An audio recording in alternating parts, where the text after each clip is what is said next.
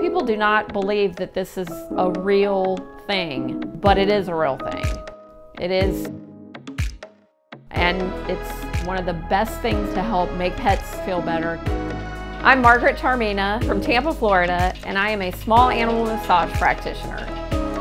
A number of my clients have been abused and traumatized. Touch helps with behavior issues. Sometimes they need to just chill. I volunteered on massage before they euthanized their pet.